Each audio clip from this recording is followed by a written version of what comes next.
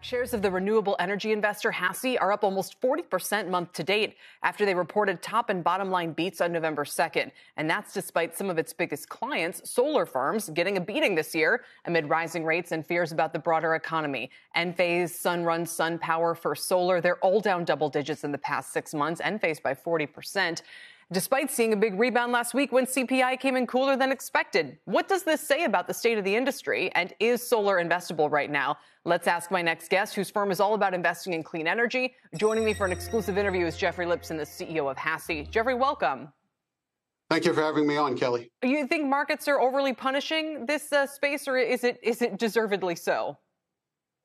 I think it's overly punishing. I think the energy transition is a long-term megatrend, and these are short-term headwinds. And I think the interest rates in particular are causing uh, significant challenges for the way these companies are viewed, but they are essentially able to pass on these higher energy, these higher interest rate costs through higher prices of the energy, and it remains competitive with the alternatives. So a new equilibrium will be found at these higher interest rates, and, and most of these companies will do quite well because of the long-term macro trend. Explain to me what it means that your company invests in renewable energy assets, but not, you know, the underlying companies themselves. What is the purpose of that? What does that mean? So we're a climate positive investor at the project level. So we invest in contracted cash flows of underlying projects. So as examples on utility scale solar projects, we will partner with our sponsors like AES and Clearway and Engie to provide a slice of capital that fundamentally allows the project to be built, and we achieve our return by the energy being sold to the off-taker on the project. Likewise, on the distributed side, uh, our clients like Sunrun and SunPower are installing rooftop solar and entering into leases with homeowners, and we're providing financing for those underlying leases.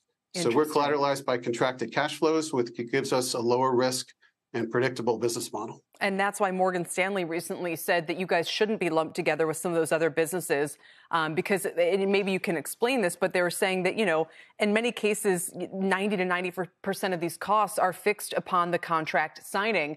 Could that go poorly if the economy takes a turn for the worse, if rates continue to do what they're doing? Uh, could those contracted cash flows not materialize?